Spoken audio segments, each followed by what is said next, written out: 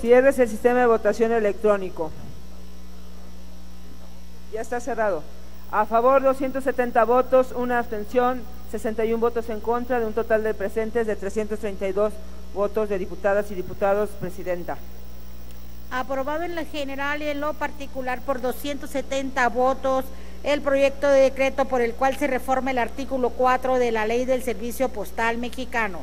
Pasa al Ejecutivo Federal para sus efectos constitucionales.